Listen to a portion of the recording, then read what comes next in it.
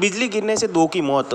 राजमंद ज़िले में शुक्रवार को हुई बारिश के साथ मौत बनकर गिरी आकाशीय बिजली ने दो जिंदगियाँ छीन ली। पत्नी के सामने पति की मौत देखकर वह बेसुध हो गई। इसके बाद राहगीरों ने दोनों मृतकों को एंबुलेंस से आर के राजकीय चिकित्सालय पहुँचाया, जहाँ पर पोस्टमार्टम किया गया। कुमारिया तहसील के खंडेल क्षेत्र के पास दोपहर में बारिश शुरू हुई तो सड़क किनारे एक ढाबे के लोहे के पतरे के नीचे उदयपुर ज़िले के दो पति पत्नी और खंडेल का एक व्यक्ति बारिश से बचने के लिए उसके नीचे खड़े थे। तभी मौत बनकर गिरी आकाशीय बिजली ने दो लोगों की की जान ले ली। डाकड़ा, सराड़ा, उदयपुर निवासी कांतिलाल डोली, पुत्र नगजी और खंडेल निवासी कालूराम, पुत्र किशन लाल की मौके पर ही मौत हो गई। कांतिलाल और उसकी पत्नी कुंवरिया में किसी काम से आए थे। वहाँ काम करने के बाद वापस अपने गाँव लौट रहे थे। तभी रास्ते में बारिश शुरू हुई तो इससे बचने के लिए ढाबे के नीचे जाकर खड़े रहे। तभी पत्नी से दो कदम दूर खड़े पति पर मौत बनकर गिरी आकाशीय बिजली ने जान ले ली। यह मंजर देखकर पत्नी के पैरों तले ज़मीन खिसक गई। जैसे ही बिजली गिरी वहाँ पर हाहाकार और चीख पुकार मच गई। यह सुनकर राह चलते कुलदीप सिंह गौड़ वहाँ पर पहुँचे और दोनों मृतकों को एंबुलेंस से आर के राजकीय चिकित्सालय पहुँचाया। इसके बाद परिजनों को सूचना दी। वहीं मौके पर कांकरोली पुलिस भी पहुँच गई।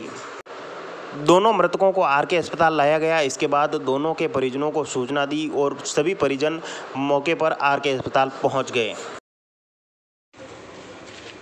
हम लोग खंडेल जब सूचना मिली तो मौके पर पहुँचे।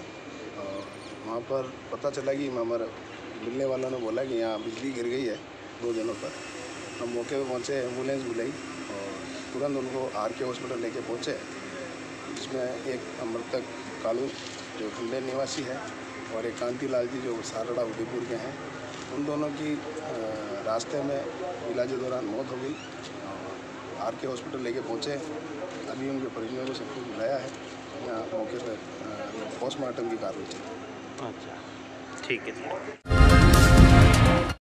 आमेर शहर में बाज़ार बंद रखकर व्यापारियों के साथ लोगों ने एसडीएम को सौंपा ज्ञापन। उदयपुर में कन्हैयालाल साहू की हत्या के विरोध में आमेर शहर दूसरे दिन गुरुवार को भी बाज़ार पूर्ण रूप से बंद रहे और व्यापारियों के साथ शहरवासियों व विभिन्न संगठनों ने आरोपियों को फांसी की सजा दिलाने की मांग को लेकर मुख्यमंत्री राज्यपाल व राष्ट्रपति के नाम एसडीएम को ज्ञापन दिए गए।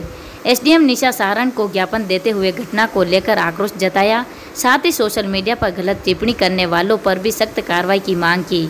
इस दौरान श्री व्यापार मंडल आमेट स्टेशन अध्यक्ष रमन कंसारा, श्री सरोफा संघ के अभय कुमार गेलड़ा, वस्त्र व्यापार मंडल के हरीश सुथार, जनरल व्यापार मंडल के नूरुद्दीन बोहरा, पीएचपी के गंभीर सिंह राठौड़ पिंटू मेवाड़ा, भाजपा नगर अध्यक्ष सुनील गांधी, सतीश सोनी, महावीर कोठारी, नारायण सिंह भाटी, राजमल सोनी, पार्षद प्रकाश घटिक मांगीलाल रेबारी पंकज टेलर सुरेंद्र सिंह पवार आदि मौजूद थे।